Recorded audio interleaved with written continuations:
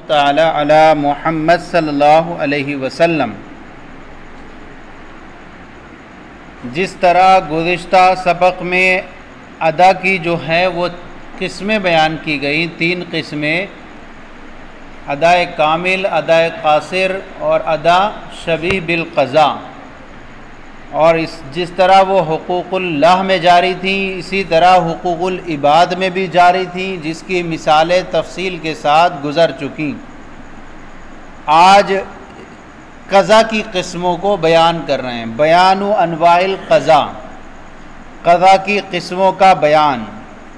ولما فرغا ان بیانی انواع الادائی۔ جب مصنف ادا کی قسموں کے بیان سے فارغ ہوئے شرح فی تقسیم القضاء، تو قضا کی تقسیم کے بیان کو شروع فرمایا۔ تو فرمایا، والقضاء انواع ایزن قضا کی بھی چند قسمیں ہیں۔ نمبر ایک، بمثل معقول۔ ایک قضا بمثل معقول ہے۔ یعنی ایک قضا ایسی ہے کہ قضا کی جو مثل ادا کیا جا رہا ہے وہ مثل ایسا ہے جو عقل میں آتا ہے۔ عقل سمجھتی ہے کہ یہاں یہ اس کا مثل ہے۔ وہ بمثل غیر معقول اور ایک ایسا مثل ہے جو عقل میں آنے والا نہ ہو۔ شریعت کے مطابق تو مثل ہے، لیکن عقل جو ہے وہ اس کو تسلیم نہ کرے۔ وما ہوا فی مان الادا، اور ایک وہ جو ہے وہ ادا کے جو معنی میں۔ تو دیکھیے قذاب مثل معقول قذاب مثل غیر معقول، اور ایک وہ جو ادا کے بھی ادا کے معنی میں ہو۔ کہتے ہیں وفی حادت تقسیمی ایدن مسامحتن جس طرح سے ادا کی تین قسموں جو بیان کی تھی مصنف نے، اس میں تسامو ہوا تھا۔ یہاں فرماتے ہیں، شارع کہ اس تقسیم میں بھی کیا ہے؟ تسامو ہے۔ کیونکہ ایک تقسیم، ایک قسم کی جو اقسام ہوتی ہیں، یا کہہ سکتے ہیں، ایک مقسم کی جو اقسام ہوتی ہیں، ان کے درمیان آپس میں تقابل ہونا چاہیے۔ اور یہاں ان قسموں کے درمیان کوئی تقابل نہیں ہے۔ کیسے نہیں ہے کہ کہہ رہے ہیں کہ وہ جو ادا کے معنی میں ہو، اب جب ادا کے معنی میں ہو، یا تو بے معقول ہوگی یا بے غیر معقول ہے۔ اگر وہ بے معقول ہے تو پہلی میں داخل ہو گئی، اگر بے غیر معقول ہے تو دوسری میں داخل ہو گئی۔ تو تقابل کہاں ہوا؟ کیا ہوا؟ تقابل نہیں ہوا۔ اس لیے کہتے ہیں یہ والی جو ہے وہ تقسیم میں کیا ایک طرح سے تقابل نہیں ہے۔ اس لیے کہتے ہیں کہ اس کی الگ تقسیم کی جائے۔ اور الگ تقسیم کرتے ہوئے یہ کہا جائے کہ قضا کی جو ہے نا وہ چند قسمیں نمبر ایک قضائے محض۔ قضائے محض اور قضائے محض اب اس کی دو صورتیں بن جاتی ہیں۔ قضا کے محض کی دو قسمیں بن جائیں گی۔ قضا بے معقول اور قضا بے غیر معقول۔ اور ایک وہ قضا جو ادا کے معنی میں تو یعنی قضا کی اولن دو قسمیں بنائیں گے قضائے محض اور قضا بمان الادا۔ اور قضا جو ہے، محض جو ہے، اس کی دو قسمیں بنیں گی قضا بمثل معقول، بمثل غیر معقول۔ صحیح ہے نہیں؟ اب قضائے محض سے مراد کیا ہوگا؟ وہ جو ہے، جس میں ادا کا معنی بالکل نہ پایا جاتا ہو، نہ تو حقیقتاً، نہ حکمن اس کو بولیں گے قضائے محض۔ اب کہتے ہیں وفی حادت تقسیم عیدن مسامہ حدن اور اس تقسیم میں بھی جو ہے تسام واقع ہوا ہے، جیسا کہ تقسیم ادا میں تسام وارد ہوا تھا۔ کیونکہ تقسیم کی جو اقسام ہوتی ہیں، ان کے درمیان آپس میں تقابل ہونا چاہیے، اور یہاں ان کے درمیان تقابل نہیں ہے۔ کیونکہ وہ جو ادا کے معنی میں ہے، اب اس کی دو صورتیں حاصل کرنے یا تو وہ مثل معقول ہوگی یا مثل غیر معقول۔ اگر وہ مثل معقول ہے تو پہلی میں داخل ہو جائے گی اور وہ مثل غیر معقول ہے تو دوسری میں داخل ہوگی تو تقابل نہیں ہوا۔ اس لیے فرمایا وہ کان نوقیل، گویا کہ یہ کہا جائے ولقضاء انواؤن قضا کی چند قسمیں ہیں۔ بل نوعان، چند قسمیں سے مراد، دو قسمیں ہیں قضاء محض۔ ایک قضاء محض ہے وہ اما بمثل معقول۔ اور ایک وہ یا تو بے مثل معقول ہوگی او بے مثل غیر معقول۔ یا کیا ہے؟ بے مثل غیر معقول ہوگی۔ وہ قضاء فی مان الادا۔ اور دوسری قسم کیا ہے؟ قضا فی مان الادا۔ تو قضائے محض کی یہ دو قسمیں ہوئی اور قضا ایک دوسری ہوئی۔ قضا فی مان الادا۔ وہ یعنی بالقضاء المحض۔ اب قضاء محض سے کیا مراد ہے؟ مالا یقون فی مان الادا اصلا۔ کہ جس میں ادا کا معنی کیا ہو؟ بالکل نہ پایا جاتا ہو، نہ تو حقیقتاً اور نہ ہی حکمن سب کی مثالیں یہاں ذکر کرتے ہیں۔ نہیں، ایک جیسے دو، اولاً دو قسمیں ہوئیں قضائے محض اور دوسری قضا بمانل فی مانل ادا تو یہ ہوئی دو۔ اب یہ دونوں آپس میں تقابل ہو گیا۔ قضائے محض، جس میں جو ہے ادا کا معنی بالکل نہ ہو، نہ حقیقت نہ حکمن اور ایک کیا ہے؟ دوسری ہے قضا ممان الادا۔ یہ دو ہو گئی اب قضائے محض کی دو قسمیں ہو جائیں گی۔ قضا مثل معقول، غیر معقول۔ صحیح ہے نہیں؟ تو اب ان کے درمیان تقابل ہو جائے گا، ایک دوسرے کے اندر جمع نہیں ہو سکتی۔ کیسے کہیں گے؟ بیان کرتے ہیں۔ اب کہتے ہیں، وما ہوا فی مان الادا اور جو ادا کے معنی میں ہے قضا این یقون بے خلافی وہ کس کے خلاف ہو؟ قضائے محض کے خلاف ہوگی۔ کس کی ہوگی؟ ہاں تو کہتے ہیں، تو وہ جس میں ادا کا معنی ہو، تو وہ ہوگی، اس کے برخلاف ہوگی۔ ول مراد بے المعقول۔ مراد جو مثل بے مثل معقول ہے۔ یعنی کیا ہے؟ مراد ایسا جو مثل معقول ہو انتدرکا مماثلت بالعقل۔ مثل معقول سے مراد یہ کہ اس کی مماثلت کا تدرکا مماثلت کہ اس کی مماثلت کا عقل ادراک کرے۔ کیا کرے؟ سمجھے کہ ہاں یہ اس کی مماثلت ہے، مثل دیا جا رہا ہے۔ کہ اس کی مماثلت کا ادراک عقل کے ذریعے ہو جائے، ما قطع نظر یعنی شرح شرح سے قطع نظر کرنے کے ساتھ۔ عقل جو ہے وہ کہے کہ ہاں یہ کیا ہے؟ اس کا مماثل ہے۔ وہ بغیر المعقول، اور غیر معقول یہ ہوگا کہ لا تدرکل مماثلت اللہ شران کہ مماثلت کا ادراک نہ کیا جا سکے مگر شران عقل جو ہے وہ نہ مانے اس کو کہ یار یہ کیسا مثل ہو گیا۔ اب اس کی مثالیں جب ذکر کریں گے تو سمجھ میں آئے گا اس کو۔ تو یہ کہتے ہیں اور وہ یقون العقل قاصرن اندر کی کیفیت اور عقل جو ہے وہ قاصر ہو جائے اس کی کیفیت کو جاننے سے۔ کیفیت کو سمجھنے سے عقل قاصر ہو جائے کہ یہ اس کا کیسا جو ہے وہ مماثل ہے۔ اللہ ان العقلہ یوناقض ایسا نہیں ہے کہ عقل اس کی نقیز ہو۔ اب یہاں یہ بیان کر رہے ہیں کہ عقل قاصر ہو اس کی کیفیت کا ادراک کرنے سے تو اس سے یہ نہ سمجھ جائے کہ عقل کے نزدیک وہ مماثل نہ ہو۔ بلکہ کہہ رہے ہیں عقل ایسا نہیں ہے کہ عقل اس کا کیا ہو؟ نقیز ہو۔ کیوں؟ اس لیے کہتے ہیں کہ یہ مراد نہیں ہے کہ عقل اس کی مماثلت کی نفی کرتی ہو۔ نفی تو نہیں کرے گی، لیکن عقل کے سمجھ میں نہ آتا ہو۔ کیوں؟ اور یہ کہ اس کے جو ہے قطعی ہونے کا عدم حکم لگا دے کہ یہ مماثل ہی نہیں ہے۔ کہ واجب واجب مثل ہونے کا کیا کر دے؟ وہ نفی کر دے۔ کیوں؟ کیونکہ عقل بھی جو ہے حجت شرح میں سے ہے۔ اور حجت شریعہ ایک دوسرے کے مناقض نقیز نہیں ہوتی۔ اس لیے جو ہے، یہاں یہ نہیں کہیں گے کہ عقل جو ہے وہ اس کی نقیز ہے۔ بلکہ کیا ہے؟ عقل مماثلت کی نفی کرے۔ صحیح ہے نہیں؟ یہ نہ کرے کہ اس کے نزدیک تسلیم ہی نہیں ہے۔ اور یہ نہیں کہ اس کے عدم ہونے کا حکم لگائیں۔ حکم لگائے قطعی طور پر بے آدمی کونی مثلاً لل مثلاً للواجب الحکم حکمتی۔ تو حکم میں واجب کے واجب مثل ہونے کا یہ قطعی طور پر حکم لگا ایسا نہ ہو۔ یا مماثلت کی نفی کر دے۔ تو یہ مراد کہتے ہیں، یہ مراد کے یعنی مراد یہ کہ ان العقل یوناقض ایسا مراد نہیں ہے کہ عقل اس کے نقیز ہو، بلکہ یہ ہے کہ عقل جو ہے اس کی مماثلت کی نفی کرے۔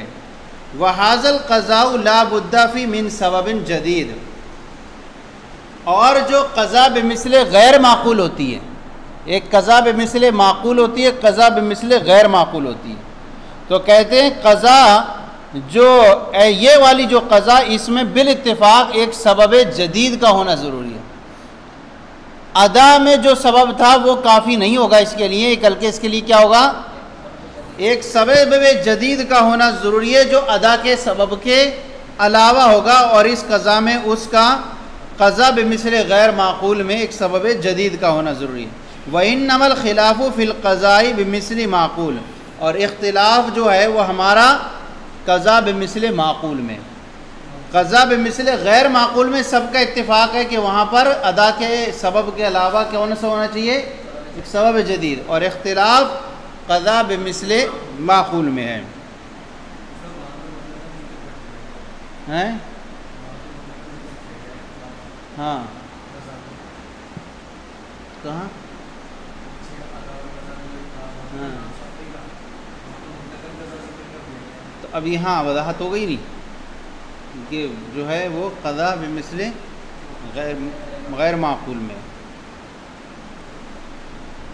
اب یہاں بیان کرتے ہیں ہمارا جو اختلاف ہے، ہمارا اور اصحاب شافیہ کا اختلاف۔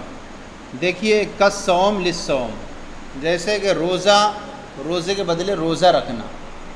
روزہ کسی کا فوت ہو گیا، نہ ہی نہیں رکھ پایا، تو اس کے بدلے میں روزہ رکھ لے۔ تو روزے کے بدلے میں روزہ رکھنا یہ قضا بے مثل معقول ہے۔ ہے کہ نہیں ہے؟ کہتے ہیں ہادہ نذیر للقضائی بے مثل معقول۔ یہ یہ نظیر ہے قضا بمثل معقول کی یعنی ای کل قضا سومی لسوم یعنی روزے کی قضا روزے کے ذریعے۔ روزے کی قضا فعین نہ ہو امر المعقول کیونکہ روزی قضا روزے کے ذریعے یہ ایسا امر ہے جو معقول ہے۔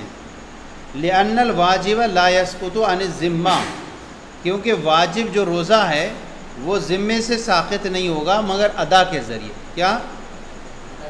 او بسقاتی صاحب الحق یا صاحب حق کے ساخت کرنے سے۔ وما لم یوجد احدہما اور جب تک ان دونوں میں سے کوئی نہ پایا جائے، کون سا؟ یا تو جس کے ذمے میں ہے وہ ساخت کیا کر دے؟ ادا کر دے۔ اور یا صاحب حق، اللہ تعالیٰ کیا ہے اس کو ساخت کر دے۔ اور جب تک ان دونوں میں سے کوئی نہ پایا جائے، یبقا فی ذمتی ہی تو یہ واجب اس کے ذمے میں کیا رہے گا؟ باقی رہے گا، چاہے کتنا ہی زمانہ گزر جائے، اور جب اس کو ادا کر دے گا تو یہ کہلائے گا کہ قضا بمثل معقول ہو گئی۔ یہ ہو گئی قضا بمثل معقول، صحیح ہے نہیں؟ ول فدیہ لہو، اور روزہ نہ رکھ کر روزے کے بدلے میں فدیہ دے دینا، تو کہتے ہیں قضا بمثل غیر معقول ہے یہ۔ قضا بمثل غیر معقول ہے کیسے؟ کہ بھائی روزے کے اندر کیا ہے؟ نفس کو بھوکا رکھنا ہوتا ہے۔ اب نفس ہے، نفس کے اندر بھوک بھی ہے، پیاس بھی ہے اور اسی طرح تو اب یہ سب شامل ہو گئے اس کے اندر۔ نفس کو بھوکا رکھنا ہے۔ نفس کو جمع کی لذت سے بھوکا رکھنا ہے۔ کھانے، پینے سے بھی کیا ہے؟ بھوکا رکھنا ہے۔ اب کہتے ہیں، اور کیا ہے؟ فدیہ دینے میں کیا ہے؟ نفس کو سیراب کرنا ہے۔ کیا کرنا ہے؟ فدیہ دیں گے تو کھانا کھلا رہے۔ تو بھائی، روزہ نہ رکھ کر اس کے بدلے میں فدیہ دے دینا۔ یہ جو ہے نا، یہ مثل تو ہے، لیکن قضا بمثل غیر معقول ہے کہ عقل کے تسلیم، عقل تسلیم نہیں کر رہی، کیسا مثل ہے؟ لیکن چونکہ شریعت نے اس کو مقرر کر دیا ہے، کہتے ہیں ول فدیہ لہو اور روزے کے بدلے میں فدیہ دینا ہادہ نذیر للقضائی یہ قضا کی نظیر ہے جو بمثل غیر معقول کی مثال ہے۔ فعن الفدیہ بمقابلت سوم کیونکہ روزے کے مقابلے میں فدیہ دینا، لا یدرک و عقل کہ عقل جس کا ادراک نہیں کرتی ہے۔ اضلاع مماثلتا بینہ ہما صورتاً و اس لیے کہ روزہ اور فدیے کے درمیان کوئی بھی مماثلت نہیں ہے۔ وہ ہوا ظاہر اور مماثلت کا نہ ہونا یہ کیا ہے؟ ظاہر ہے۔ کیسے کہ بھائی ایک طرف روزہ رکھنا ہے اور ایک طرف کہہ رہے روزہ نہ رکھ کر کے فدیہ دینا۔ تو یہ مماثلت کا نہ ہونا یہ بالکل ظاہر ہے۔ کہہ رہے ہیں، والا مانن، اور نہ ہی مماثلت معنوی طور پر ہے۔ کیسے؟ لن سوما تجوی النفس۔ کیونکہ روزہ کہتے کسے ہیں؟ نفس کو بھوکا رکھنا۔ نفس کو بھوکا رکھنا ہوتا ہے روزے کے اندر۔ اور فدیہ جو ہے، صحیح ہے نہیں؟ تو نفس کو بھوکا رکھنا ہوتا ہے، یہ عام ہے، بھوکا رکھنا۔ شرمگاہ کی بھوکا ہونے سے، پیٹ کے بھوکا رکھنے سے۔ صحیح ہے نہیں؟ اسی طرح یہ متعار بھوک اور پیاس سب کو ہے۔ اور فدیہ دینے میں کیا کرنا ہے؟ روزے میں جو ہے نفس کو تھکانا ہوتا ہے۔ اور فدیہ دینے میں مال کو کم کرنا ہے۔ بھائی روزے میں کیا ہے؟ رک کر کے نفس کو تھکانا ہوتا ہے۔ اور فدیہ دینے میں کیا کر رہا ہے؟ مال کو کم کر رہا ہے اور نفس کو خوب موٹا تازہ بھی کر رہا ہے۔ تو کہہ رہے ہیں کہ نفس روزہ، یہ کیا کر رہا ہے؟ نفس کو بھوکا رکھنا ہے اور فدیہ اشباؤن اور فدیہ دینا اس کو کیا ہے؟ سیراب کرنا ہے۔ وہ حاضر فدیت الکل یوبن ہوا نصف السائن اب مقدار بیان کر رہا ہے، یہ فدیہ کیا ہوگا؟ یہ فدیہ ہر دن کا نصف السائن ممبرین گیہوں میں سے نصف سا او دقیقتن یا کیا ہے؟ آٹے میں سے، او سویقتن یا ستو میں سے، او زبیبن یا کشمش میں سے یا انگور جو سوکھا ہے او سائم ان تمرن یا کھجور میں سے ایک سا او شعرن یا جو میں سے ایک سا لس شیخ الفانی۔ اس شیخ فانی کا فدیہ ہے الذي يعجز عن الصوم۔ جو روزہ رکھنے سے کیا ہو؟ عاجز ہو۔ شیخ فانی جو پہنچ جائے ساٹھ سے پچاس سے تجاوز کر جائیں، صحیح ہے نہیں؟ اور اس کا نام فانی اس لیے رکھا گیا، اس کی قوت فنا ہو جاتی ہے۔ صحیح ہے نہیں؟ اور بعد نے یہ کہا کہ پچاس سے تجاوز کرتا ہے، لیکن ایسا یہ ہے کہ مدار آجزی پر ہے۔ کیا یہ؟ آجزی پر ہے۔ جو روزہ رکھنے سے اب عاجز ہو۔ تو یہ روزہ جو ہے، یہ فدیہ دینا اس کے حق میں کیا بن جائے گا؟ اس روزے کے قائم مقام ہو جائے گا تاکہ اس کی ادائیگی سے روزے کا ثواب حاصل کیا جا سکے۔ تو ثواب کو کیا رکھ دیا گیا؟ وہ فدیے کو روزے کے قائم مقام کر دیا گیا۔ جیسے کہ مٹی کو پانی کے قائم مقام کر دیا جاتا ہے تہارت حاصل کرنے کے لیے۔ صحیح ہے؟ تو اب کہتے ہیں کہ یہ نصف سا ہوگا گیہوں یا آٹے میں سے یا ستو میں سے یا کشمش میں سے اور جو کھجور یا جو میں سے سا کا سا دینا ہوگا۔ اس شیخ فانی کی طرف سے جو روزے سے عاجز ہو۔ شیخ فانی عام طور پر کہا اس لیے جاتا ہے کہ چونکہ اسی وقت انسان عاجز ہوتا ہے۔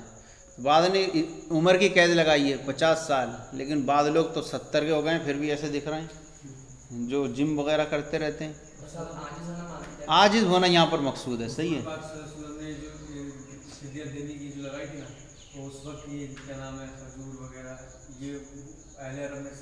ہاں۔ اس کو دیکھتے ہوئے لگائے۔ کیوں؟ وہاں تو سستا ہی ہے نا اب بھی۔ تو آپ تو اختیار ہے آپ کو اختیار ہے۔ یہ تو نہیں کہا گیا نہیں اسی میں سے دینا آپ کو۔ آج یہی تو مسئلہ ہے کہ لوگ ایک طرح کا مسئلہ بیان کرتے رمضان میں صدقہ فطر میں۔ گیہوں سے دو کلو پینتالیس گرام سینتالیس۔ کھجور کیوں نہیں بیان کرتے؟ کھجور سے بھی صدقہ فطر ہے۔ وہ اس کو بالکل نہیں بیان کرتے، ورنہ اگر بیان کریں اور نکالیں تو ایک ایک مالدار کا سترہ سترہ سو صدقہ فطر نکلے گا۔ تو کتنے مدارس مالدار ہوں گے؟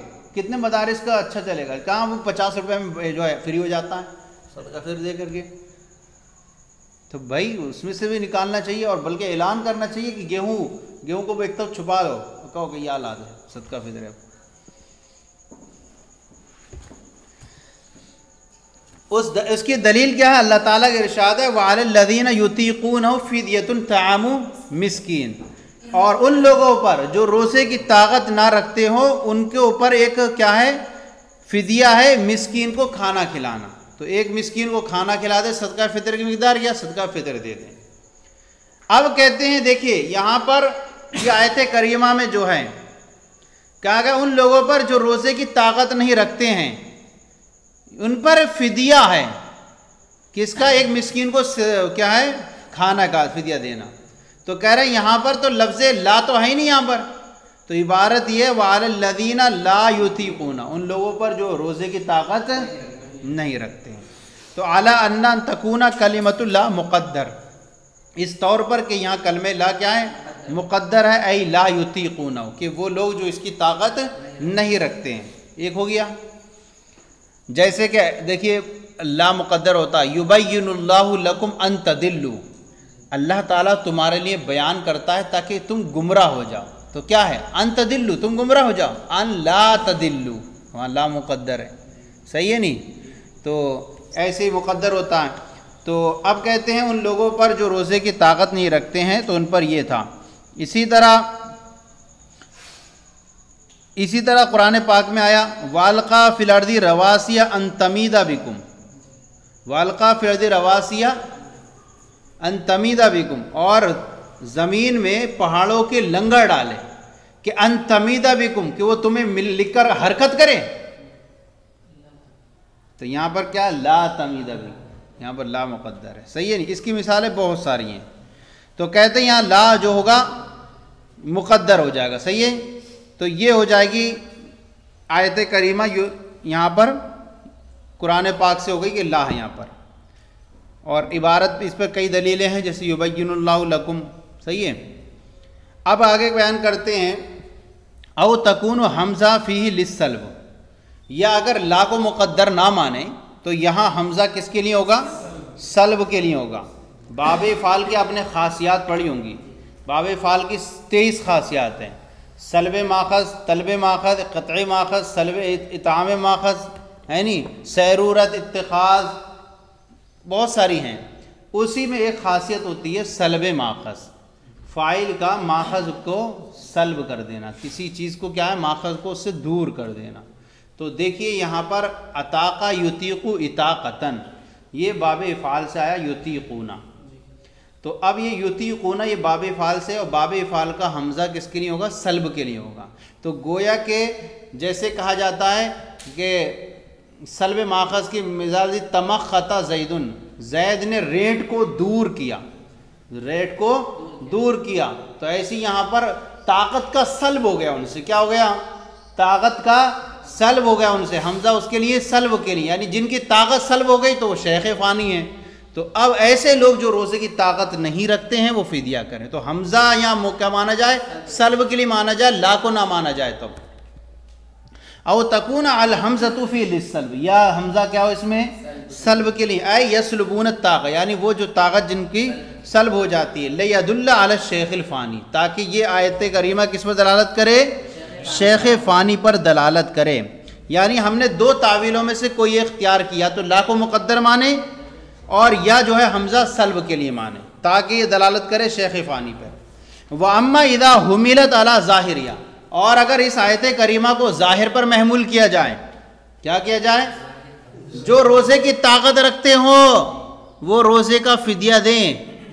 کہتے ہیں، تو اگر یہ ظاہر پر محمول کیا جائے یعنی ایسا تھا شروع ابتدائی اسلام میں کہ روزہ رکھنا فرض واجب تو تھا، لیکن اس میں اختیار تھا۔ چاہے تو طاقت والے روزہ رکھ لیں اور چاہے تو وہ اس کے بدلے میں فدیہ دے دیں۔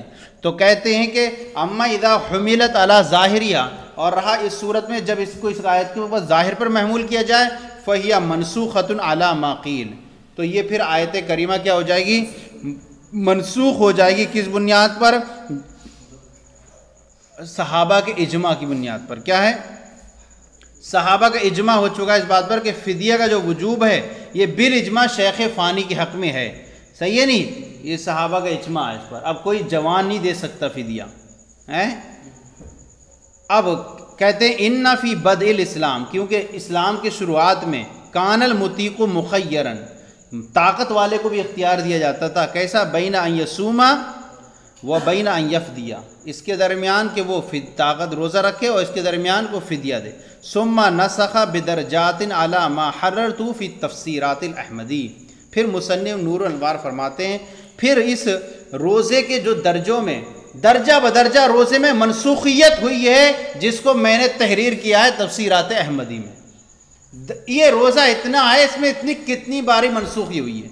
کیا ہوئی ہے؟ درجہ بدرجہ اس میں کیا ہوا ہے؟ نسخ وارد ہوا ہے۔ جس کو میں نے تحریر کیا ہے ہاں تفسیرات احمد کہتے ہیں کہ پہلے جو ہے نا، فرماتے ہیں، پہلے جو سال میں صرف ایک ہی دن کا روزہ فرض تھا۔ وہ کیا گیا؟ اور وہ یوم عاشورہ۔ کیا ہوا؟ یوم عاشورہ کا روزہ فرض پھر اس روزے کی فرضیت منسوخ ہو گئی، یوم عاشورہ کی۔ پھر حکم دیا گیا کہ ہر مہینے میں ایام بیس کے تین روزے رکھنا ہے۔ تیرہ، چودہ، پندرہ۔ صحیح ہے؟ پھر جو ہے اس کے بعد پھر اس کی ایام بیس کی فرضیت منسوخ ہو گئی سوم شہر رمضان سے۔ کیا ہو گئی؟ ہاں لیکن سوم شہر رمضان میں بھی روزے دار کو اختیار دیا گیا۔ اگر چاہے تو روزہ رکھے، اگر چاہے تو کیا کرے؟ افطار کرے۔ اور کہے، اور ہر روزے کے بدلے میں کیا کرے؟ وہ فدیہ دے مسکین کو۔ اور اس پر آیت کریمہ کیا تھی؟ اللہ تعالیٰ کے شاد والزین یوتی قون فدیت تعم مسکین اور کہتے ہیں، پھر جو ہے، پھر یہ خبر دی گئی کہ بھائی فدیہ دینے کا اختیار تو دیا گیا، لیکن روزہ رکھ لینا بہتر ہے۔ اور وہ کس سے بتایا گیا؟ ان تسوم خیر القم سے۔ کس سے بتایا گیا؟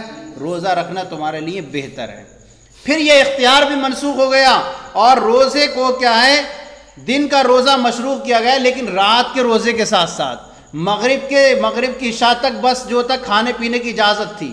اور عشاء کے بعد جیسے ہوتا تھا، بس روزہ شروع ہو جاتا تھا۔ گویا کہ عشاء کے بعد سے شروع ہوا اور پھر مغرب تک روزہ رہتا تھا۔ صحیح ہے نہیں؟ اور آدمی جو ہے غروب شمس کے بعد عشاء تک اختیار، افطار کر دیتا پھر اس پر کھانا پینا حرام ہو جاتا تھا۔ لیکن کچھ صحابہ کرام سے اس میں مسئلے ہو گئے۔ حضرت عمر سے بھی اس میں معاملات ہوئے۔ تو اور ایک صحابی آئے، وہ جو ہے، انہوں نے بیوی سے اپنی کھانا مانگا، تھکے ہوئے تھے۔ اور آئے تو وہ بیوی سے لینے گئی کھانا، وہ سو گئے۔ اور سونے کے بعد بھی کیا ہو جاتا تھا؟ حرام ہو جاتا تھا۔ اب وہ انہوں نے پھر اسی طرح پھر روزہ رکھ لیا تو ان کی بہت کمزور ہو گئے۔ تو پھر یہ کیا کیا آیت کریمہ پھر یہ رات کے روزے کو منسوخ کیا گیا۔ علم اللہ انکم کنتم تختانون انفسکم فتاب علیکم وعفا عنکم فالآن باشرہن وابتغوا ما کتب اللہ لکم وکلوا وشربوا حتی یتبین لکم الخیط الابید من الخیط الاسود من الفجر۔ فجر تک تم کھا سکتے ہو۔ صحیح ہے۔ تو یہ روزہ ایسی چیز ہے جس میں کتنی بار درجہ بدرجہ کیا ہوا ہے؟ منسوخ ہوا ہے۔ صحیح ہے؟ جمعہ کا صدور ہو گیا اپنی بیوی سے اور پھر اس پہ پھر یہ آیت کریمہ۔ مجھے تو اپنی جانوں میں خیانت کرو گے۔ صحیح ہے؟ اب آگے دیکھیے وقضاء تقبیرات العیدی پھر رکو عید کی تکبیراتوں کی قضا رکو میں کرنا۔ عید عید کے دن کوئی شخص مسجد میں پہنچا، دیکھا تو نماز شروع ہو چکی ہے اور امام رکو میں جا چکا ہے۔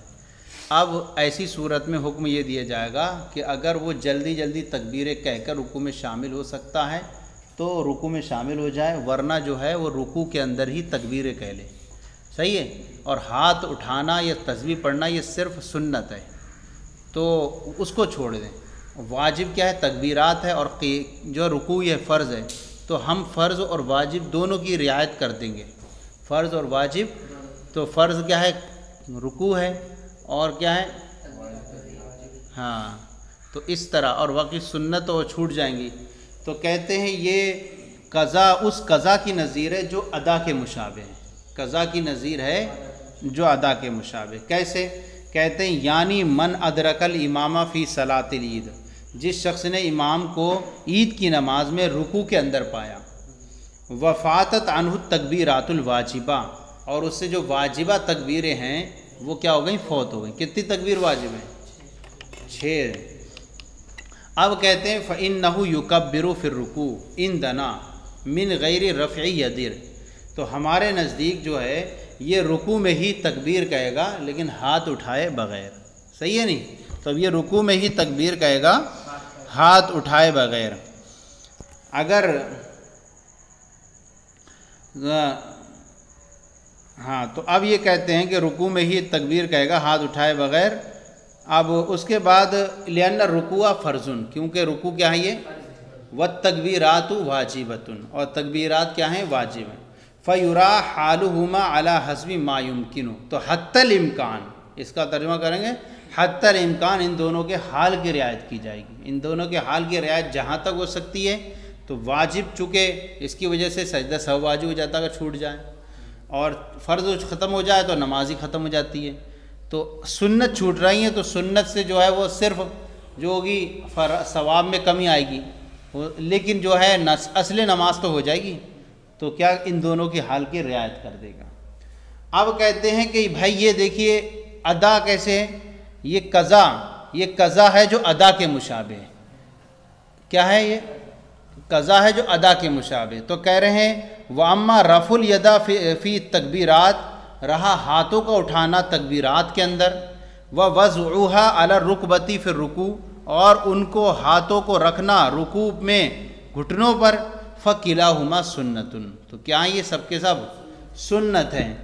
صحیح ہے نہیں؟ تو ہاتھ نہیں اٹھ رہے ہیں۔ تو اس کی وجہ سے یعنی مراد بھی رف الیدین متعین تو ہاتھوں کو اٹھانا اور ان کو دونوں گھٹنوں پر رکھنا رکوع میں، یہ دونوں کے دونوں سنت ہیں واجب اور فرض کی رعایت کر لیں گے۔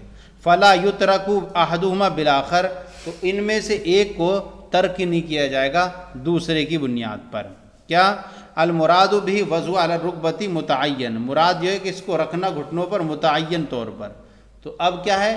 وہ ہاتھوں کو اٹھا تو نہیں پا رہا ہے، لیکن گھٹنوں میں رکھ لے گا۔ تو اب ایک کو دوسرے کی وجہ سے ترک نہیں کریں گے۔ اس پر جہاں تک عمل ہو سکتا ہے، وہ عمل کریں گے۔ اور ہاتھ گھٹنوں پہ رک، کی تکبیرات رکو میں پڑھ لے گا۔ صحیح ہے نہیں لیکن فرض اور واجب کی رعایت ضروری ہوگی یہاں پر۔